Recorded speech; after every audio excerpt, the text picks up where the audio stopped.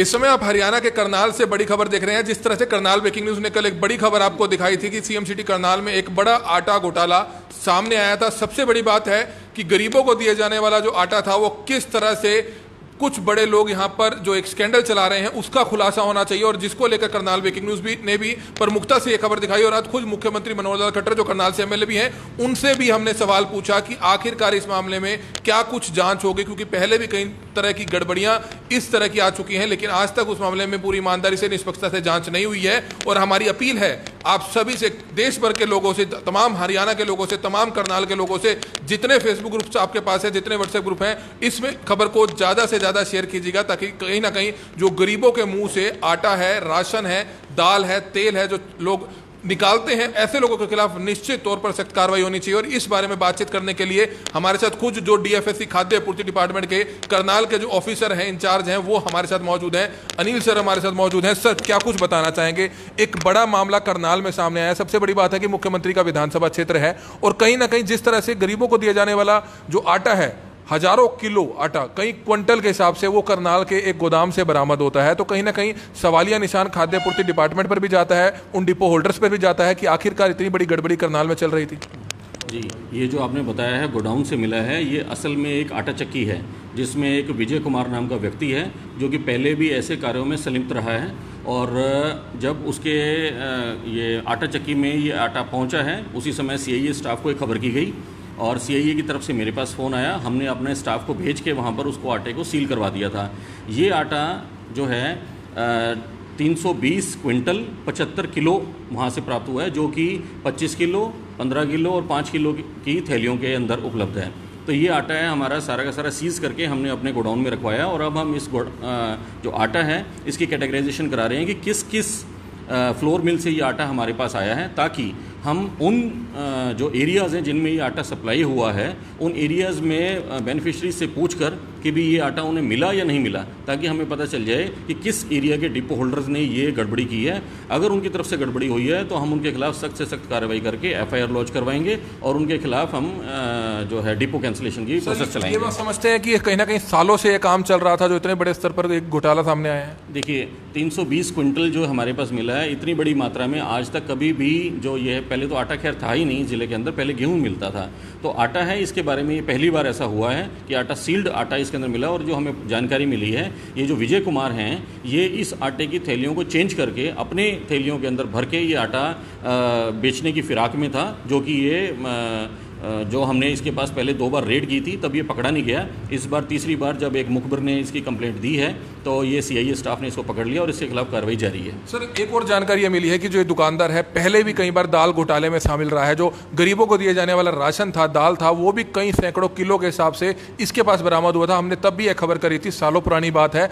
और कहीं ना कहीं उसमें यह बात भी सामने आई थी कि खाद्य आपूर्ति डिपार्टमेंट के कुछ अधिकारी भी, जो इंस्पेक्टर्स हैं, वो कहीं ना कहीं इसमें शामिल थे। क्योंकि जिनका जिम्मा होता है इस मामले में जाँच करने का, आखिरकार डिपो होल्डर्स के पास अगर वो बायोमेट्रिक सिस्टम से, जो खास तौर पर आजकल तो बायोमेट्रिक सिस्टम से हटा दिया जाता है, लेकिन उसके बावजूद इतनी बड़ी मात्रा में किस तरह से जो गरीबों को दिया जाने वाला राशन है, वो बाहर दुकानों में खुलेआम बिक रहा है। आटा ही नहीं, बल्कि हम आपको बता दें कि आपको भी पता होगा कि हैफर्ड का तेल खुलेआम जो है कालाबाजारी हो रही है। करनाल में हर दुकानदार सस्ती बोतलें लेकर किस तरह से महँगी बोतलें भेज रहा है, उस पर आज तक क्यों कार्रवाई क्यों नहीं की गई? जी, जैसे कि आपने पूछा कि ये पहले भी ये जो विजय कुमार है, संलिप्त रहा है तो हमारे को भी ये रिपोर्ट मिली है कि एक बार कोई दाल का स्कैंडल हुआ था, उसमें भी यही व्यक्ति इन्वॉल्व था।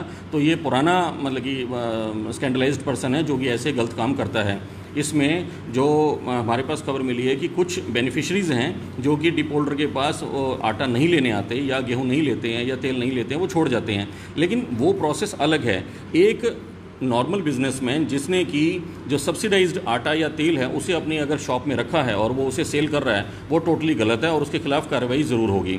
और इसके अंदर जो हमारे जैसे कर्मचारी या अधिकारी हैं, उसके इन्वॉल्वमेंट की बात है तो हम हम इसकी भी पूरी की पूरी जाँच कर रहे हैं कि अगर मान लो इसके अंदर कोई वो पाया जाता है तो उसके खिलाफ भी सख्त से सख्त कार्रवाई होगी। डीएमसी सर समझते हैं कि कहीं ना कहीं अगर आपके विभाग के कुछ अधिकारी इसमें पाए जाते हैं तो निष्पक्षता से क्योंकि मुख्यमंत्री ने आज पूरी ईमानदारी से कहा है कि इस मामले की निष्पक्षता से जाँच होनी चाहिए क्योंकि एक बड़ा मामला है देश भर में एक खबर फैली है कि करनाल में एक घोटाला सामने आया। गरीबों को दिया जाने वाला आटा अगर दूसरे लोग ब्लैक मार्केटिंग करेंगे तो निश्चित तौर पर कार्रवाई बनती है। अगर कुछ आपके डिपार्टमेंट के अधिकारी पाए जाते हैं तो उनके खिलाफ भी सख्त कार्रवाई के आदेश देंगे। देखिए मैं आपको बताऊँ एक बार ये तीन चार महीने पहले भी एक आटा का ऐसे स्कैंडल हुआ था उसके अंदर भी ये जो हमारे जो विभाग के कर्मचारी हैं, उनके खिलाफ ये आरोप लगे थे कि उसकी जान जो इंक्वायरी है, वो अभी जारी है।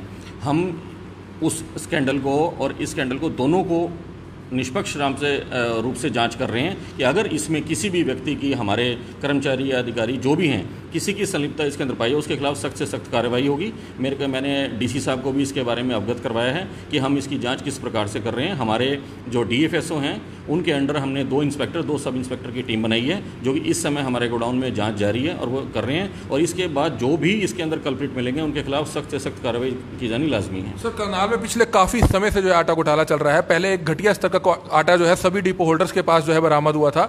और उसमें भी आज हमने सवाल मुख्यमंत्री जी से पूछा है कि पिछले मामले में भी आज तक इंक्वायरी क्या बैठी है? क्यों आज तक उन अधिकारियों के खिलाफ क्यों कार्रवाई नहीं की गई? और अब दोबारा से एक और आटा घोटाला सामने आया देखिए, जो आप कह रहे हैं कि आटा की क्वालिटी में फ़र्क था आटा की क्वालिटी में फ़र्क इसलिए था कि उन जो बेनिफिशरीज थे वो ये कह रहे थे कि उसमें चोकर की मात्रा है, जो मोटाई है, वो उसकी ज़्यादा है ग्रेन की जो मोटाई है वो ज़्यादा है। तो हमने हेफर्ड को कह के उसकी ग्रेन की जो विथ है वो कम करवा दी थी, मोटाई कम करवा दी थी। तो उसके बाद से आटे की कोई कंप्लेंट हमारे पास नहीं आ रही है। उस आटे के अंदर जो पहले था, उसके अंदर ये था कि आटा पहुँचा नहीं था और वो मशीनों में सेल दिखा दिया गया था। तो छियासठ डिपो होल्डर्स हैं, उनके खिलाफ हमने सस्पेंशन की कार्रवाई कर दी थी और उनके खिलाफ शोकस नोटिस करके आगे कार्रवाई जारी है। और इसके अंदर जो आप इंक्वायरी की बात कर रहे हैं वो इंक्वायरी की जो है वो एसीएस लेवल पे चल रही है काफ़ी हाई लेवल पे है और उसकी जो जानकारी है जैसी प्राप्त होती है हम आपको ज़रूर प्रोवाइड करते हैं। के बाद मुख्यमंत्री के संज्ञान में भी मामला आया बिल्कुल आया होगा जी। जी आज सीएम साहब हमारे करनाल क्षेत्र में ही थे और उनसे भी पत्रकारों ने इस बारे में और डीसी साहब ने ज़रूर बात की होगी। और इसके बारे में जो भी आगे इन्फॉर्मेशन है, जैसे ही हम इसको कंप्लीट करते हैं, आपके बाद तुरंत इन्फॉर्मेशन हम आपको प्रोवाइड करवाएँगे।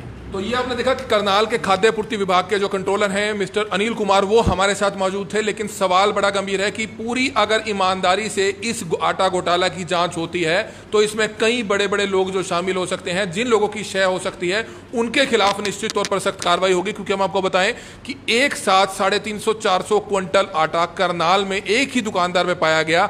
सिर्फ़ एक दुकानदार का आंकड़ा है और करनाल में ऐसे कई काला बाजारी हैं जो आटे का, तेल का, दालों का काला कारोबार करते हैं, जिसमें सैकड़ों क्विंटल आटा, दालें और तेल उनके गोदामों में भरा पड़ा है। अगर सरकारी खाद्य पूर्ति डिपार्टमेंट अगर पूरी ईमानदारी से जाँच करें तो ऐसे और भी बड़े घोटाले सामने आ सकते हैं और कई ऐसे काला बाजारियों को जेल के पीछे भेजा जा सकता है। लेकिन सवाल बड़ा गंभीर है, क्योंकि कहीं ना कहीं खाद्य आपूर्ति विभाग के कुछ एक अधिकारी और जो डिपो होल्डर्स हैं, उनकी भी भूमिका संदेह के घेरे में है और जो गरीबों को दिया जाने वाला राशन है, वो किस तरह से डकार जाते हैं? कुछ लोग इसलिए हमारी अपील है, जितने भी लोग इस खबर को देख रहे हैं, ज़्यादा से ज़्यादा शेयर ज़रूर कीजिएगा और खुद मुख्यमंत्री ने आज इस मामले में एक हाई लेवल इंक्वायरी के आदेश दिए हैं। देखना ही होगा कि क्या ये आदेश सिर्फ़ आदेश ही बनकर रह जाते हैं, क्या निश्चित तौर पर ऐसे लोगों के खिलाफ सख्त कार्रवाई होती है।